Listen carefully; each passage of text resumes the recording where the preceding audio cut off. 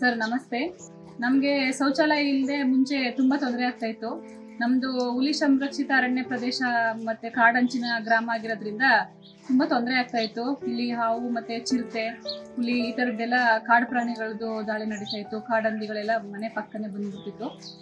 ನಮಗೆ ಶೌಚಾಲಯ ಹೋಗೋದಕ್ಕೆ ತುಂಬಾನೇ ತೊಂದರೆ ಆಗ್ತಾ ಇತ್ತು.